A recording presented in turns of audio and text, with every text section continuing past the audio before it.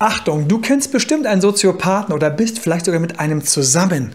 Die große Frage ist, sind Soziopathen beziehungsfähig oder sind sie eigentlich schon festgelegt, dass es kriminelle Problemmenschen sind? In diesem Video spreche ich darüber, was den Soziopathen ausmacht, was sagt die Psychologie dazu, wie sieht es aus mit der Beziehungsfähigkeit, Bindungsfähigkeit und am Ende aus meiner Coaching-Praxis ein ganz konkretes Beispiel, wo du sehen kannst, wie ein Soziopath sich in einer Beziehung konkret verhält. Verrückterweise gibt es den Soziopathen in der psychologischen Diagnose nicht, aber so im Volksmund in unserer Bevölkerung, was wir uns vorstellen, haben wir sofort das Bild vom Joker aus Batman.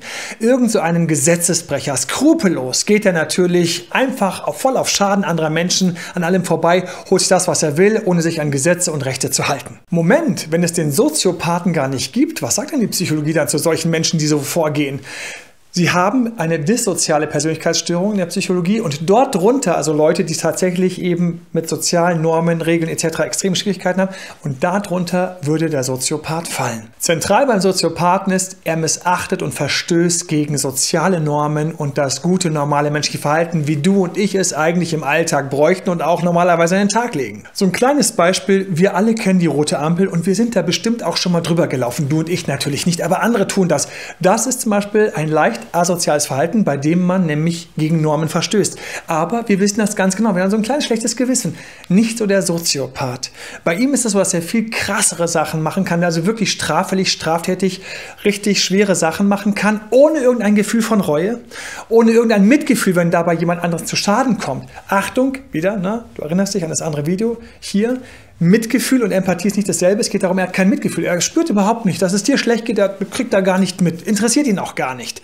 Er ist dadurch auch häufig hat er keine Impulskontrolle. Das heißt, er knallt raus. Der Joker passt ganz gut. Der flippt dann plötzlich aus und knallt durch die Gegend. Oder da muss mal kurz was in die Luft gesprengt werden. Hoch, weil es jetzt nötig war. Er wollte es eigentlich später machen, aber bumm, Impulskontrolle nicht da. Knallt er einfach mal kurz durch. Und ganz spannend, das Ganze fängt schon früh an häufig vor dem 15. Lebensalter, wenn wir dissoziale Persönlichkeitsstörungen der Psychologie betrachten. Es ist übrigens nicht verwunderlich, dass viele den Soziopathen mit dem Psychopathen gleichsetzen. Achtung zum Psychopathen, habe ich ein anderes Video, was du hier findest. Und nun die große Frage, wie sind Soziopathen in Beziehungen?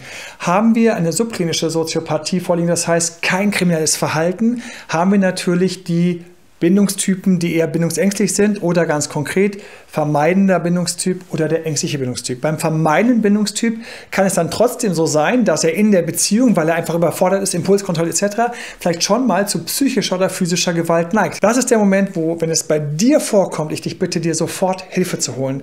Hol dir Coaching oder hol dir psychologische Unterstützung. Auf gar keinen Fall solltest du versuchen, das selbst hinzubekommen. Du hast da keine Chance.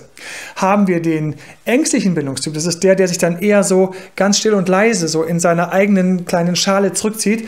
Dann hast du ebenfalls einen vermeidenden Bindungstypen, der dir also auch aus dem Weg geht und eher dem das alles zu viel ist der auch nicht ganz versteht, was bei dir los ist, der also auch sehr viel Gefühlskälte ausstrahlen kann. Aber wir haben keine psychische oder physische Gewalt, es ist eher dieses passive Wegbrechen, wo du denkst, wieso komme ich gar nicht oder gar nicht an ihn oder gar nicht an sie heran. Und wenn du mal ein bisschen in eine solche soziopathische Persönlichkeit dich hineinfühlst, du hast dann wie gesagt jemanden, der kein Mitgefühl hat, der diese Grenzen nicht kennt, der sich ziemlich dissozial oder asozial verhält, diese Person hat extreme Schwierigkeiten zu vertrauen, weil sie das selbst ja gar nicht mitbringt, wie wir gleich noch sehen werden, was sie nämlich alles so für Züge haben in Beziehungen.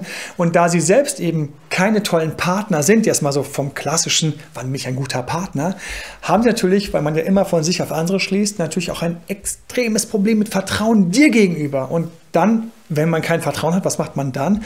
Ja, wie wenn jemand krankhafte Eifersucht hat, man wird sehr kontrollsüchtig. Das heißt, sie sind teilweise, und jetzt Achtung wieder mit diesem soziopathischen Hintergrund, keine Scham, mal eben sich alles bei dir anzuschauen, dich zu stalken, von vorne bis hinten alles durchzulesen und ähm, reinzugehen, weil ich habe dir nicht vertraut. Die denken gar nicht, dass das vielleicht deine Privatsphäre war, die sie da gerade so ein bisschen gebrochen haben, weil sie eben Soziopathen sind. Ja, und welche Verhaltensweisen, die ziemlich unangenehm für dich sein können und auch sind, zeigen jetzt solche Soziopathen, lügen, natürlich, weil sie biegen sich die Realität zurecht, wie sie es wollen. Da auch ohne rot zu werden an der Stelle, schamlos. Betrügen, Fremdgehen, weil Impulskontrolle, hoch, war halt so süß, aber war gerade so toll, hat mich so schön angefasst, hat, ich wusste gar nicht so, du denkst so, wie bitte? Und wenn du zuhörst, merkst du, die Person ist komplett in ihrem eigenen Film. Die rafft gerade gar nicht, dass dir das wehtut, sondern die lässt dich kurz teilhaben an ihrer kleinen Achterbahnfahrt. Da saß sie halt plötzlich drin. Huch. Und natürlich unangenehme Süchte. Glücksspiel, Drogensucht etc. Solche Dinge, wo wieder die Impulskontrolle sich auf irgendwas draufstürzt, wo sie denken, sie sind ja sowieso quasi gesetzfrei, sie können ja tun, was sie wollen. Aber natürlich nicht, dass du es weißt, es gibt nur blöde Diskussionen. Also plötzlich kommt heraus, Glücksspiel, Geld wurde verzockt, ähm, Drogenabhängigkeiten, Schulden wurden heimlich aufgebaut. Solche Dinge, über die kannst du stolpern, wenn du mit der Person darüber sprichst dann denkst du die ganze Zeit, warum zeigt er keine Reue? Warum kann sie so sagen, so mit diesem Tonfall so, ja, ist halt so, ist halt so. Das ist für mich so dieses kalte, dieses mitgefühlslose, wo du merkst, die Person lebt im Grunde genommen in einem leeren, kargen Raum. Ein kleines, saftiges Beispiel zum Schluss. Lügen. Häufig haben wir das, dass jemand mit seinem Alter lügt und dann helfen wir als Coaches, dass die Beziehung weitergeht, wenn diese kleine Lüge rauskommt. Was ist, wenn der Soziopath gelogen hat? Folgendes.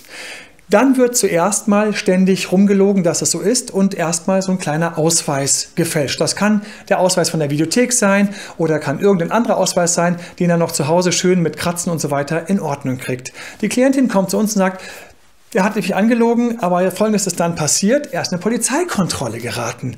Tja, jetzt haben wir natürlich ein Problem, weil die Polizei darf natürlich nicht den Ausweis sehen, weil dann würde ja alles auffliegen. Also fängt er an, aufrecht zu werden. Da wir Impulskontrolle nicht haben, da wir eben auch das Gefühl haben, wir können äh, alles uns zurechtbiegen, flippt er aus und wird tatsächlich einfach mal mit auf die Wache genommen. Du denkst jetzt, an der Stelle würde er sagen, okay, na, ich gebe es zu. Nein, er kommt zurück und fängt an, noch mehr Urkunden zu fälschen, um zu sagen, dass die Polizei da Blödsinn gebaut hat und wirklich alles in Ordnung ist. Und jetzt kommen wir zu einem Punkt, wo du dich fragst, Warum? Warum wird dieser Lügenkanal noch weiter gebaut? Man könnte doch einfach nur sagen, sorry, kannst mir verzeihen, ich liebe dich. Aber der Soziopath mit seinem mangelnden Mitgefühl ist längst auf so einer Verstrickung. Und in dieser Verstrickung rutscht er immer tiefer ins Loch, bis es zu Anzeigen kommt, bis es zu einem riesigen Eklat kommt und man sich am Schluss nur fragt, warum hat er nicht einfach das richtige Alter gesagt? Soziopathie ist ein Bewusstseinszustand, in dem die Realität anders aussieht, ich sehr kalt mein Ding verfolge und immer denke, ich komme damit durch, weil ich mich ja so ein bisschen leicht auch allen anderen überlegen fühle, weil ich mich eben an keine Regeln halten muss. Pass auf, dass dir sowas nicht passiert. Wir haben extra einen Test zusammengestellt. Ist dein Partner ein Soziopath? Gibt es im nächsten Video. Und wenn du irgendeine Freundin hast, von der du denkst, die muss unbedingt vor Soziopathen gewarnt und gerettet werden oder auch ein Freund, teile das Video. Sorg dafür, dass Menschen auf sowas nicht reinfallen. Diese Beziehungen werden irgendwann zur Folter.